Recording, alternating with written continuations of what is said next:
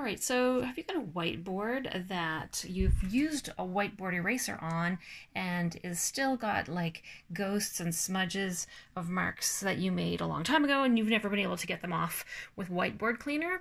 Well, this side of my whiteboard, I've just finished cleaning with a Norwex cloth. I went to a home Norwex party a few months ago and the lady used it to clean off Sharpie from a hardwood floor. And the other day I was feeling kind of frustrated because my uh, whiteboard was really smudgy.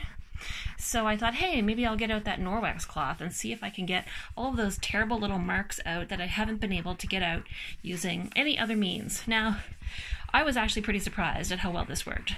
And some of them do take a little bit of elbow grease to get them off, but others just come off with a quick little scrub.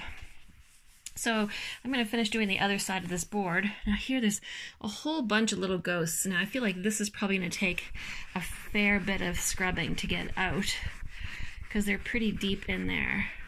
But even just with that much, you can see that it's hardly noticeable anymore. Now there's a long scratch there. Let's see what happens if I give that a little elbow grease. Obviously this will work better if I wasn't also holding a video camera but you can see instantly it improves it and given a little bit of extra rubbing I'm going to be able to get those spots out. But I'll just go ahead and show you this other side. I mean it's going to look like nothing because it's perfectly clean. And I've been sort of thinking I needed to replace this whiteboard. But here's your solution. Norwex microfiber cloth. Let me know if it works for you